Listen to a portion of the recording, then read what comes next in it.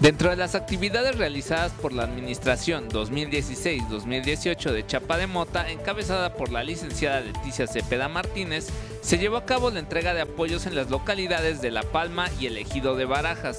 La primaria Benito Juárez de la comunidad La Palma fue apoyada con mano de obra en la rehabilitación del comedor de la institución y se entregó un vale de 13 bultos de pegazulejo. La ciudadana Angelina de la Cruz Hernández, primera regidora en representación de la licenciada Leticia Cepeda Martínez, señaló que el ayuntamiento realiza las gestiones correspondientes para obtener recursos a favor de los chapamotenses. Las necesidades son muchas, pero el recurso es muy poco.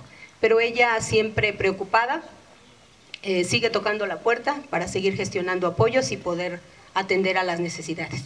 Además, en esta misma comunidad se otorgó un vale de material para la construcción de un puente de agua pluvial, el cual consta de 2.5 toneladas de cemento, 1.5 toneladas de mortero, dos viajes de arena, un viaje de grava, 25 piezas de varilla de media y de 3 octavos, un viaje de piedra, 30 kilos de alambre recocido y 4 kilos de clavos en diferentes tamaños. Cabe señalar que la administración 2016-2018 de Chapa de Mota realizó el banderazo de arranque de esta obra.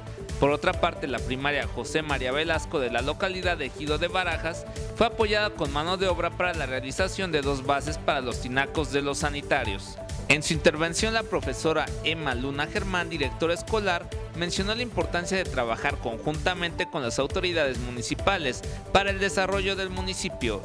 De manera conjunta podemos realizar esta y otras actividades que podamos tener en mejora y en pro de la educación de nuestros, de nuestros alumnos. Reportó Julio Morones.